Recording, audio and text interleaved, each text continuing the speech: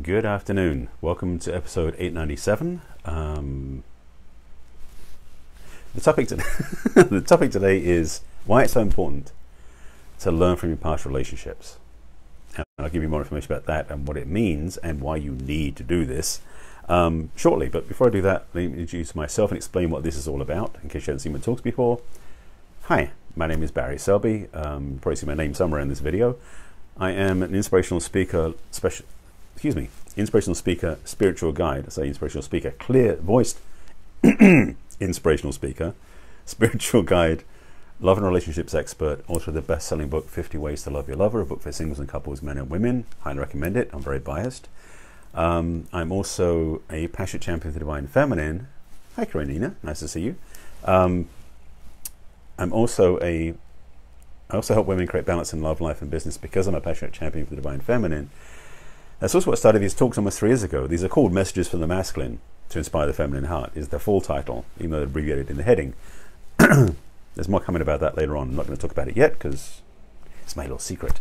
So, almost three years ago now, so it's been three years worth of talks, and most of them have been daily. For the last two and a half years, they've been daily talks, which is why episode number 897, three more days to 900. Ooh.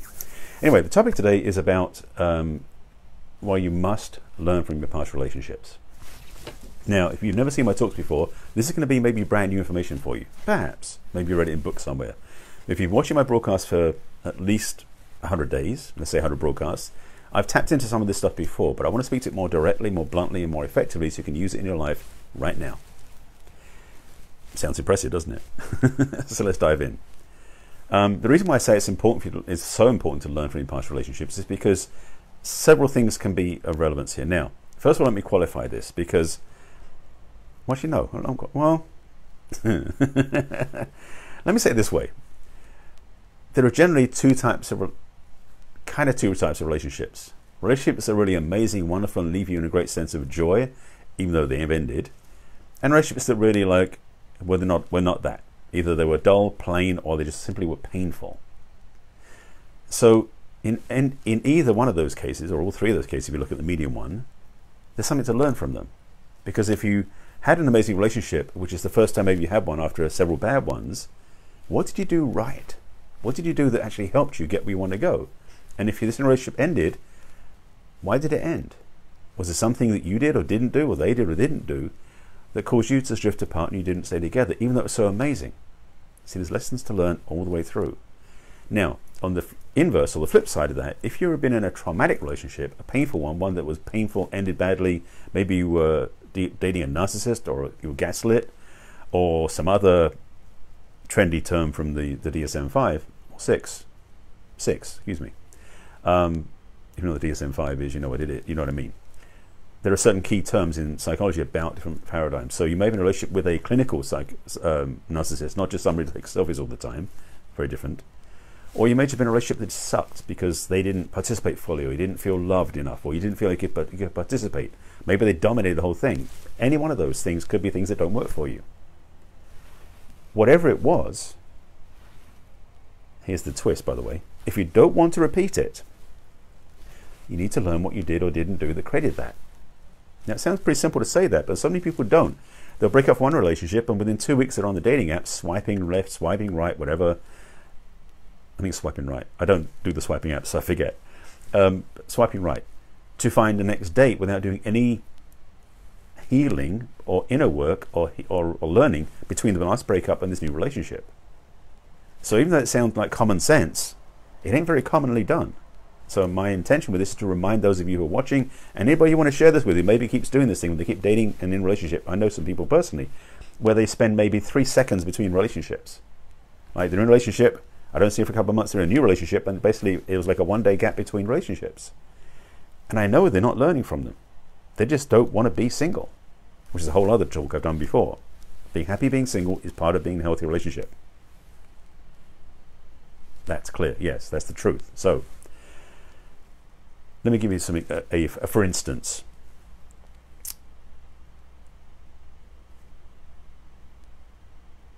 I'll speak from my own experience. Let me, let me be transparent.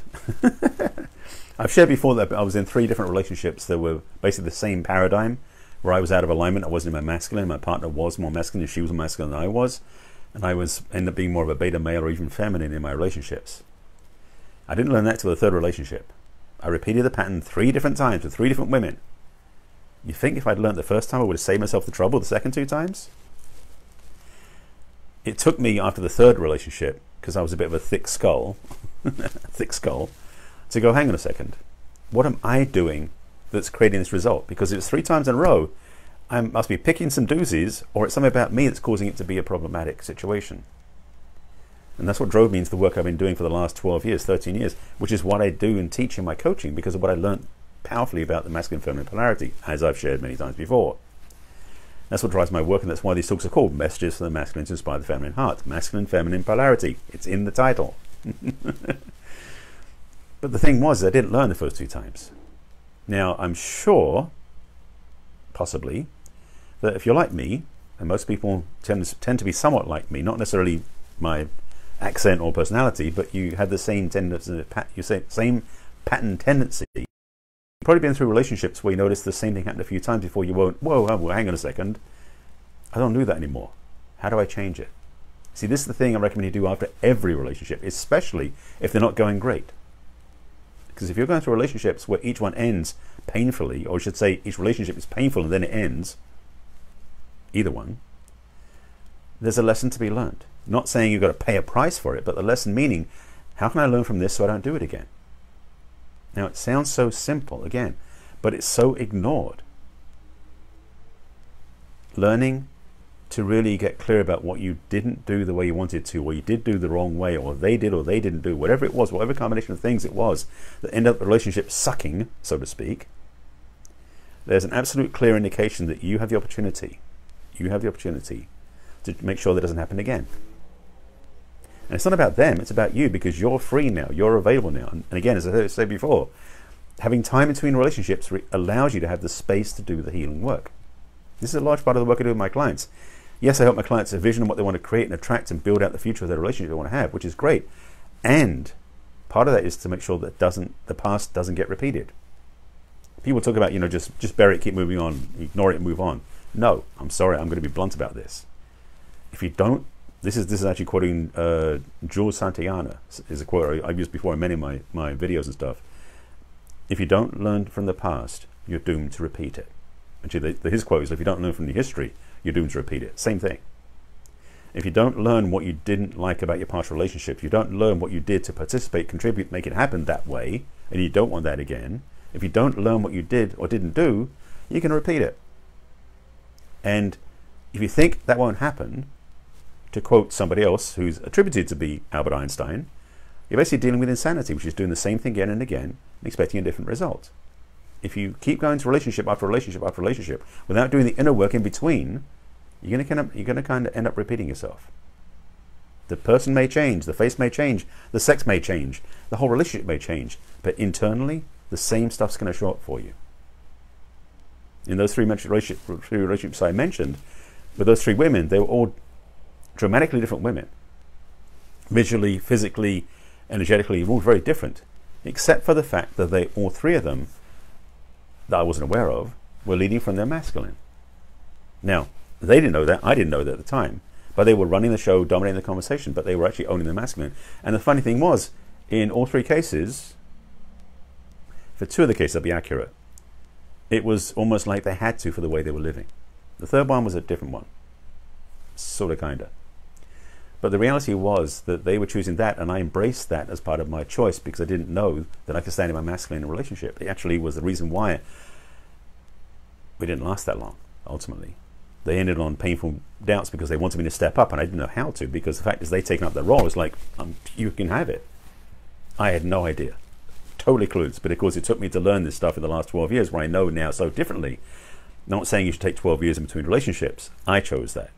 Different because for part of the journey for me in this work, and just to, to express why I've been single this long, or as long as I have, is because when I went through the transformation experience of learning about the masculine and feminine polarity in great depth, embracing embodiment and transformation, I learned that one of my core values I was not doing was living my purpose. I was just doing jobs. I've had eight careers before this, by the way, just a sidebar. um, all of which were fine, all of which were okay, but none of them were my calling. and at this point in my life, doing what I do now, I'm so clear that I'm in the right place because I value, I love, I get juiced up by what I do. I love transforming people's lives. It fulfills my purpose. And that key piece alone enables me to stay my masculine easily. And it also means that a relationship has to be additive to that. If it pulls away from that or if it doesn't add to it, I'm not interested. I'm willing to be single rather than be in a relationship if it doesn't add to my life in, in addition to my purpose work. That's, and I've said it publicly here. I've actually said it a few times. But just to be clear, once again, that's my truth. It may not be your truth, that's just mine. But I want to say this one more time to get it clear for you.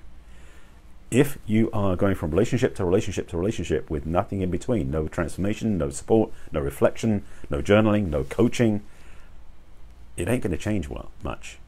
And so there are people out there who I know this, I've seen their friends of mine do this, where they basically they break up and a couple of weeks later they're swiping right to meet somebody else, and they're wondering why they end up in the same place every time. If this is true for you, get support. Reach out to me, get support seriously, because you don't have to keep repeating yourself in pain, suffering, and losing out. I guess I'm getting kind of pedantic about this. this is really fundamental. It's simple as it sounds. It's one of the three um, legs of my work with my clients. And to give you the shorthand version, if you go to my website, you can sign in for the, the three keys videos that teach you this stuff.